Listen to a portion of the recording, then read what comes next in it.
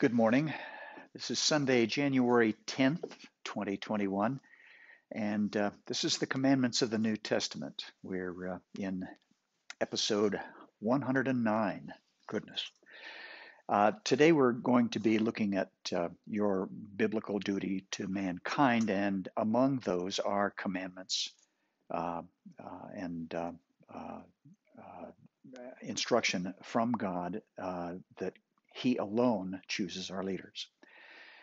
Uh, this says something critical about uh, the vote. Uh, I'm not going to uh, belabor that point, but uh, uh, you should know that that your vote can be considered a prayer, um, an act of prayer to God. This is what you would like.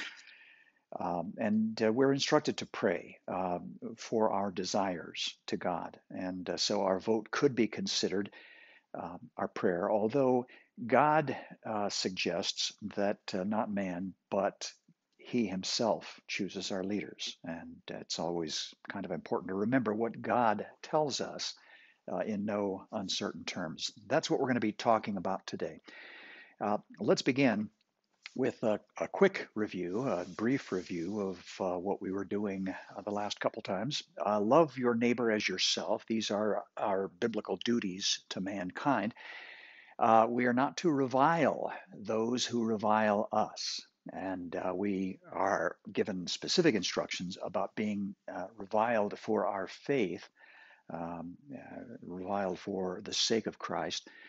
And uh, last time we uh, just jumped into briefly the, the question of uh, resisting authority.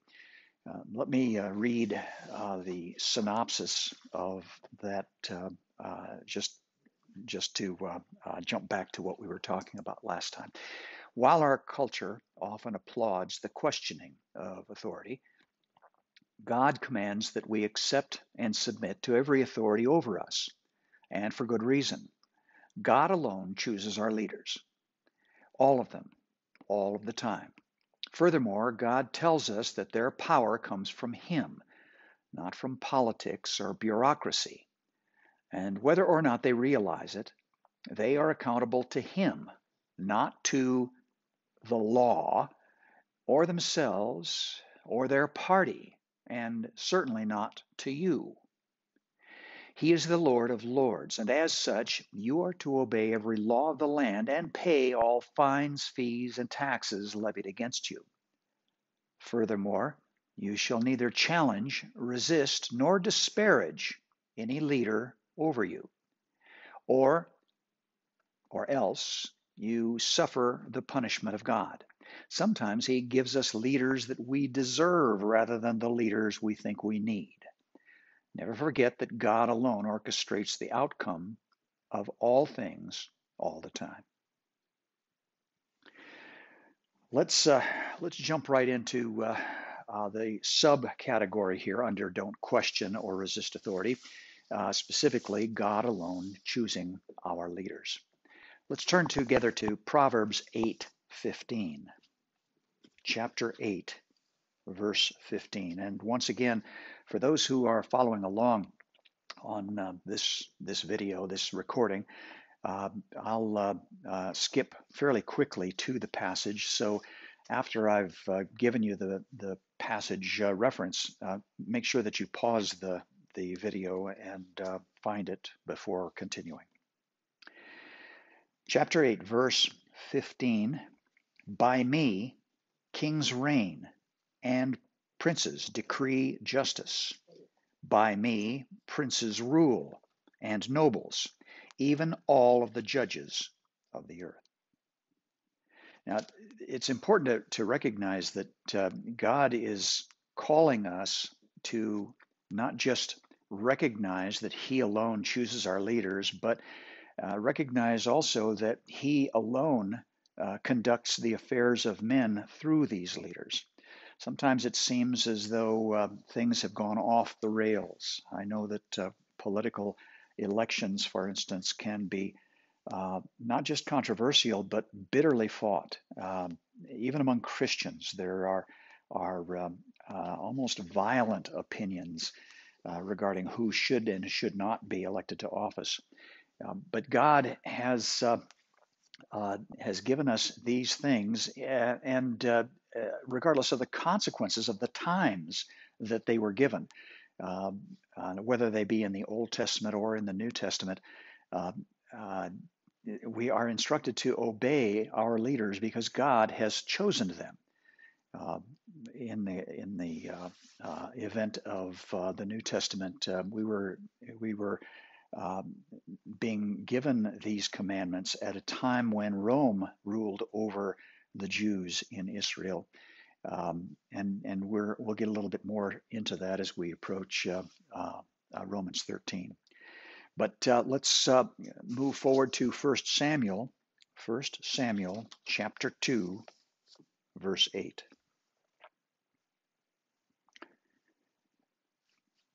He, that is God, raiseth up the poor out of the dust, and he lift, lifteth up the beggar from the dunghill, and set them among princes, to make them inherit the throne of glory. For the pillars of the earth are the Lord's, and he hath set the world upon them. Uh, skipping just for a moment for context purposes, uh, back up to verse 6. Uh, the Lord killeth, and he maketh alive.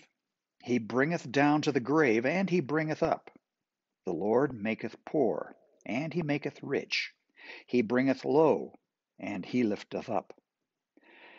The uh, the uh, clear uh, meaning of the passage is that God is in control of all of these things, and uh, when someone is poor, it's because God made them poor. When they are rich, it's because God blessed them with riches. And Sometimes I wonder if riches are such a blessing, given what else the Bible has to say about the wealthy. Uh, nevertheless, uh, we are to uh, give God the credit for the state of men, and not just Christians or Jews, but all men, whether they are believers or not. It's important for us to remember that God is God. He's not just applying for the job. in other words, uh, God is the God of all men. All men. Whether they believe in him or not has nothing to do with it. God is the creator and he is in control of all things all the time, including all people, past, present, and future. He is God and there is no other God. Uh, there are idols, but they are fabrics of man's mythology and imagination. Uh, God is God, and He's not just asking you to believe in Him so He can be your God. He is your God. He is the God of the atheist and the agnostic. Even though they are not familiar with Him, even though they may not believe in Him, nevertheless, He is their God. Let's continue in uh, 1 Chronicles 28 5. First Chronicles chapter 28 verse 5. And of all of my sons, for the Lord hath given me many sons, he hath chosen Solomon, my son, to sit upon the throne of the kingdom of the Lord over Israel. Uh, once again, here, uh, David is uh, uh acknowledging that, that the Lord has chosen both him and his son Solomon out of all of his sons to rule over the land. And he said unto me, Solomon, thy son, he shall build my house and my courts, for I have chosen him to be my son, and I will be his father. Moreover, I will establish his kingdom forever, if he is constant to do my commandments and my judgments, as at this day. Jeremiah chapter 27, verse 5. Jeremiah 27, verse 5.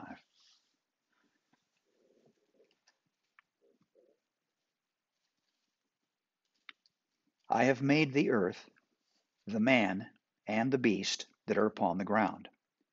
By my great power and by my outstretched arm, and I have given it to whom it seemed meet or appropriate unto me. God's plan includes a wide variety of people, purposes, and plans, but invariably, no matter who they are, they are operating in God's domain, and He is in control of the outcomes of all things.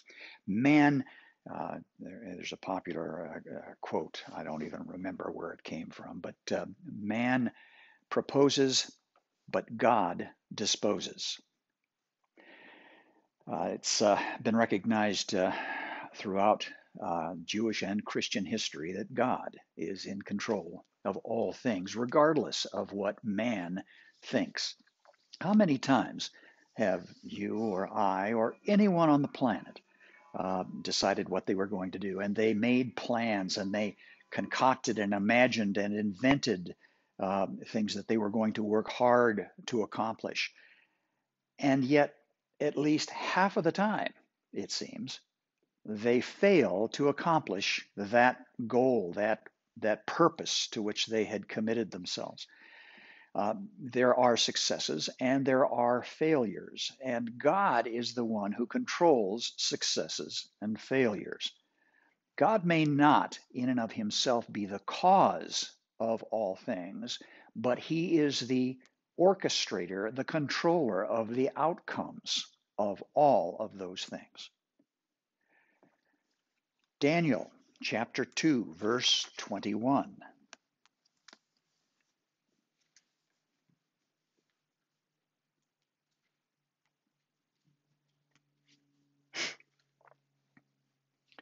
let's uh, uh, skip back to uh, uh verse 19 to uh, uh, tie in the context here.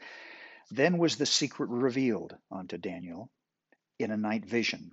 Then Daniel blessed the God of heaven. Daniel answered and said, Blessed be the name of God forever and ever, for wisdom and might are his. And he changeth the times and the seasons. He removeth kings and setteth up kings. He giveth wisdom unto the wise, and knowledge to them that know understanding. He revealeth the deep and the secret things. He knoweth what is in the darkness, and the light dwell and and the light dwelleth with him. Uh, there are uh, a number of passages like this. Um, uh, let's uh, continue to chapter 4 of Daniel, just over a couple pages chapter 4, verse 32. Chapter 4, verse 32.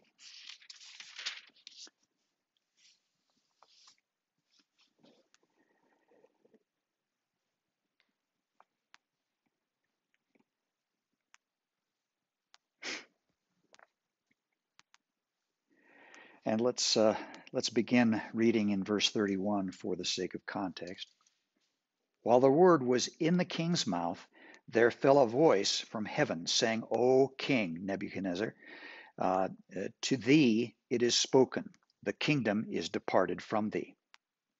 And they shall drive thee from men, and thy dwelling shall be with the beasts of the field. They shall make thee to eat grass as the oxen. And seven times shall pass over thee until thou knowest that the Most High ruleth in the kingdom of men and giveth it to whomever he will. Once again, God from heaven is telling us that he's in control, not just in control of the outcomes in this case, he's in specific and, and intimate control of who rules. The authorities over us, from uh, from the President of the United States all the way down to uh, uh, the uh, the guy behind the counter at the DMV, and everywhere in between. These people who are in authority over some aspect of our lives, God has placed in their position in order to accomplish His purposes and His plans, not ours. Chapter 5, verses 18 to 23. Daniel chapter 5, verses 18 to 23. O thou king, the Most High God gave Nebuchadnezzar, or uh, thy father, a kingdom, and majesty, and glory, and honor. And for the majesty that he gave him, all people, nations, and languages trembled and feared before him, whom he would slew, and whom he would keep alive, whom he would set up, and whom he would put down. But when his heart was lifted up and his mind hardened in pride, he was deposed from his kingly throne, and they took his glory from him. And he was driven from the sons of men, and his heart was made like the beasts, and his dwelling was with the wild asses. And they fed him with grass like, an, like oxen, and his body was wet with the dew of heaven till he knew that the Most High God ruled in the kingdom of men, and that he appointed over it whomever he will. And thou, his son, O Belshazzar, hast not humbled thine heart, though thou knowest all of this.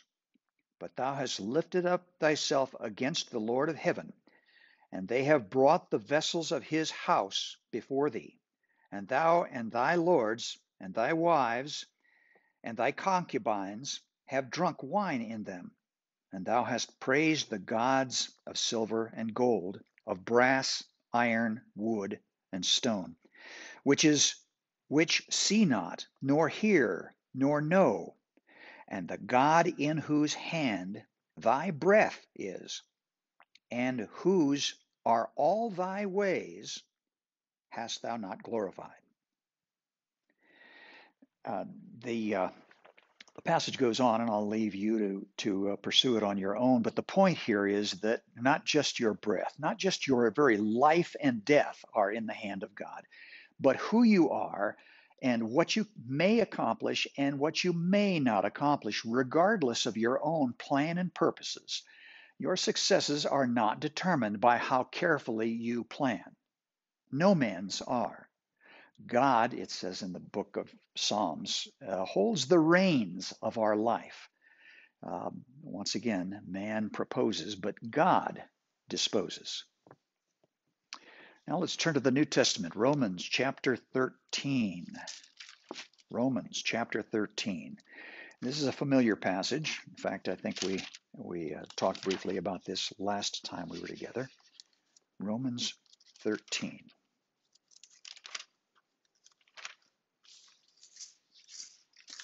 And I'll read verses 1 through 7. Let every soul be subject unto the higher powers, for there is no power but of God.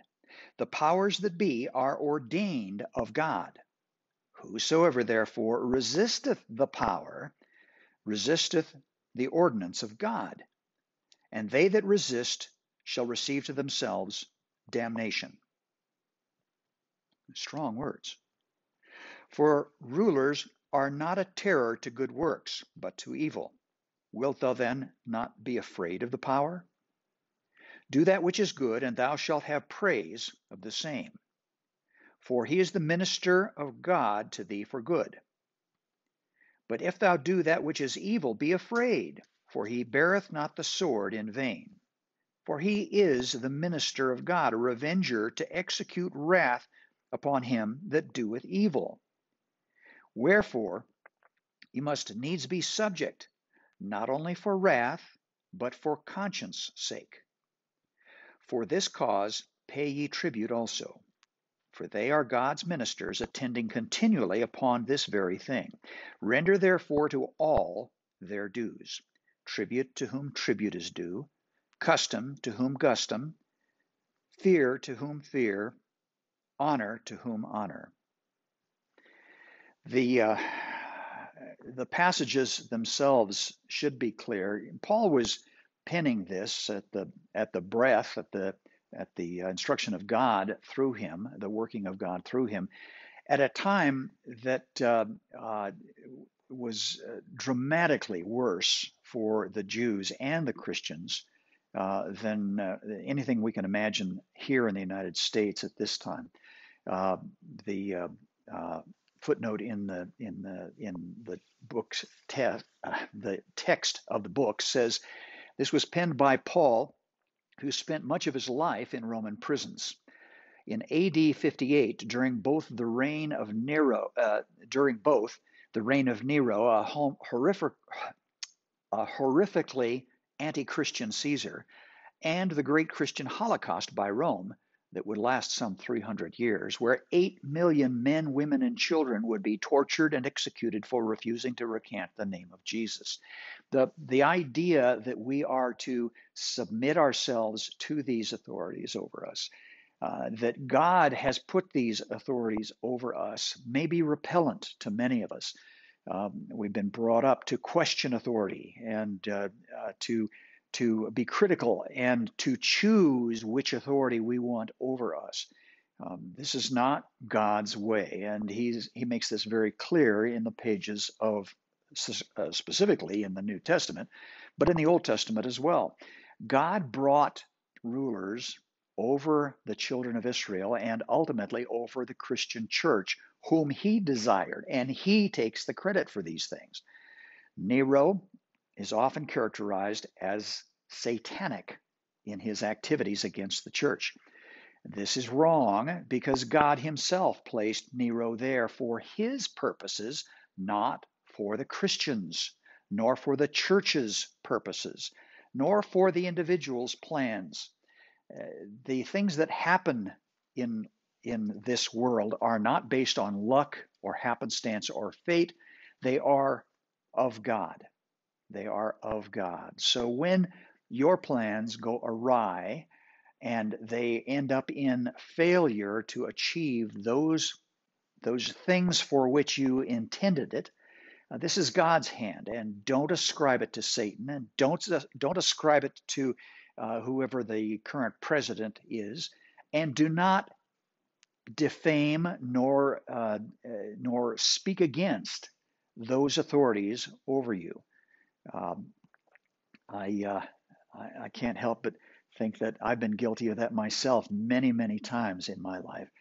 Uh, most recently, I was tempted this way uh, as I uh, tried to uh, uh to get some paperwork accomplished uh, or pushed through the DMV, the Department of Motor Vehicles, and and uh, here in California, that's no mean feat. Um, the the line uh, to get in uh, to the DMV is ordinarily uh, very long and, and very slow, and, and it takes uh, literally hours just to get through the front door.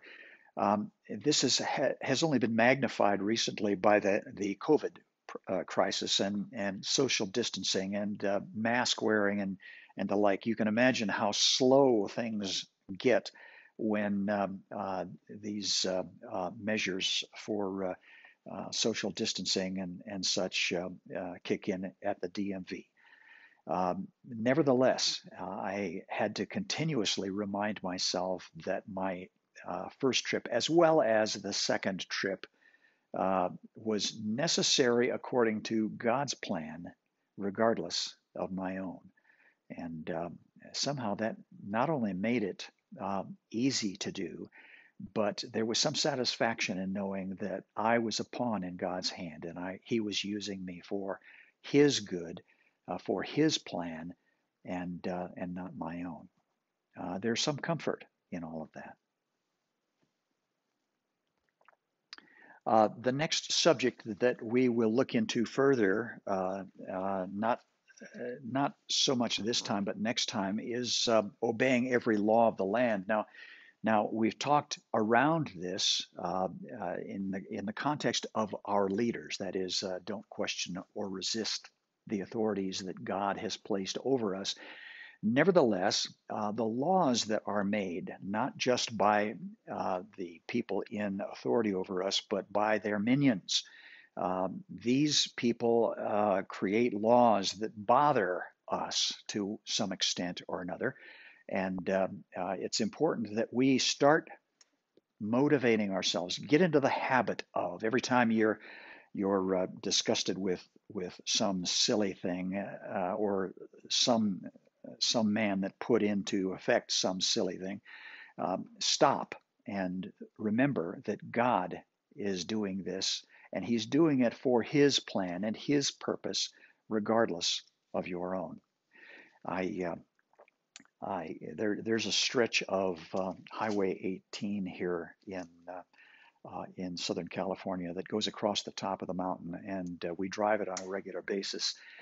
And uh, there's a long, long stretch of it. It is a highway, after all, and there's a long, long stretch of it that is um, set up at 35 miles per hour maximum speed. And uh, every time we uh, we we pass into this zone, uh, miles uh, uh, go by, and we're still driving 35 miles an hour. And um, there doesn't seem to be any rhyme or reason to this. And and of course, when it's lifted, then you can you can drive I don't know 55 or whatever the highway will allow at that point. Uh, the the reason for the 35 miles an hour has never really been expressed, nor does the government tend to to justify themselves uh, or explain why they set up the the uh, uh, speed limits the way that they did. And so, uh, from time to time, I I can cross my arms and, and get a scowl on my face. And why why can't I just drive at at uh, the prima facie uh, uh, speed that uh, the highway will allow? Uh, why am I forced to do this silly thing? I've told myself on numerous occasions that this law was obviously enacted or this ruling was enacted by somebody who probably doesn't even live in the mountains. They live uh, down the hill, but uh, for some reason, somebody decided 35 miles an hour along this stretch of highway was appropriate. Um, nevertheless, uh, it's important for us not to scowl or or become disgusted with any such thing. Uh, the uh, the official that that made this rule, the people who set up these signs, and the policemen and the CHP uh, officers who who enforce these rulings are in God's hand, and they are responsible to God, not the law, and not to higher authorities. They are responsible to God for the decisions that they make, as are you and I. Uh, ultimately, uh, God is is very clear on the fact that He set up these rulers, and in addition, these laws are important for us to obey according to God, and that's what we're we're uh, going to focus on now. Let's turn to 1 Peter chapter 2. 1 Peter chapter 2.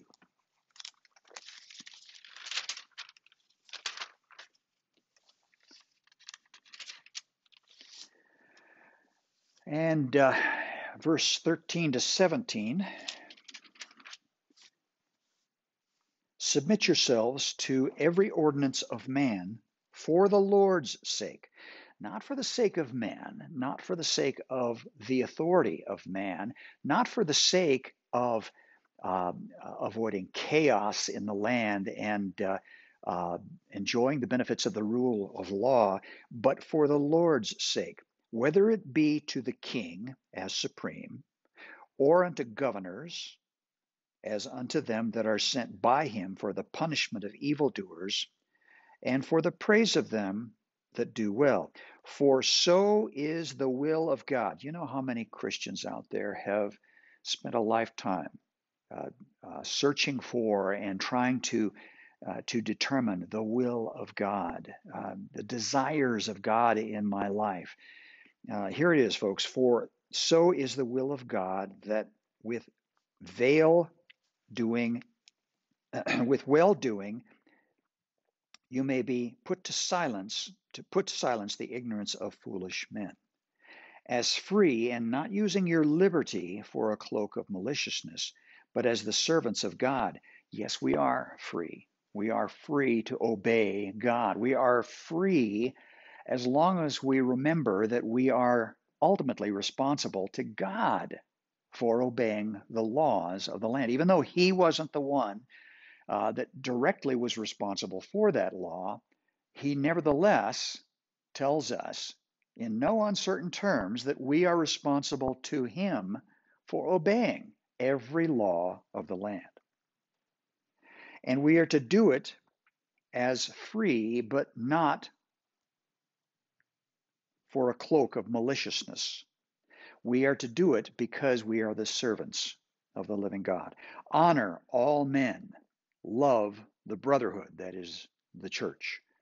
Fear God, honor the king or the president, regardless of your political persuasion. Let's turn to Philippians 2, verse 13. Philippians 2.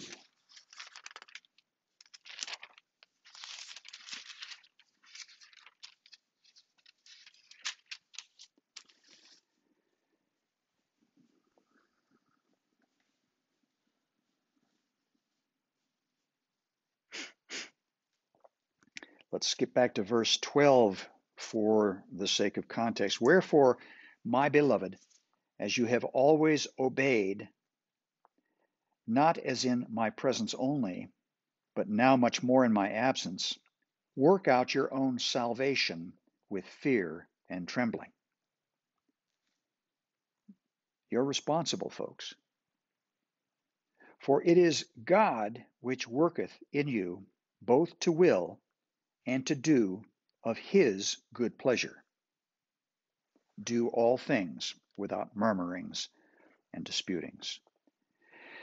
The, uh, the point that is made over and over again is that God is in control, and we are to see that control as coram deo. That is, we live our lives in the presence of God. The minute that we forget that, the minute that we start focusing horizontally instead of vertically, we are likely to become disgusted with the state of things, uh, uh, weary and and complaining about the leaders that we have over us. Um, uh, and oh my goodness, what if uh, this party or that party gets control of the Senate? And and um, how how could it possibly be that we have the president over us now that that we we have uh, and all of the corruption that goes with it and and on and on and on. Uh, these things have existed since George Washington folks. And uh, uh it is no different now than it was back then. Now, we have uh, more people in this country now than we did then but uh, politics continues to be silliness. Uh, in my own estimation, this is not biblical, uh, but in my own estimation, politics, uh, whether it is corporate politics or national politics, is something that we should avoid like the plague. Uh, it's kind of like pornography. The answer is just say no and get away from it. Don't get involved in it. Don't try to change the world for good through politics. It can't be done because God is in control.